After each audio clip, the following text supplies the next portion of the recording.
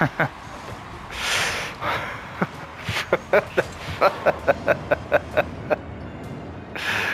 I might save a clip of that.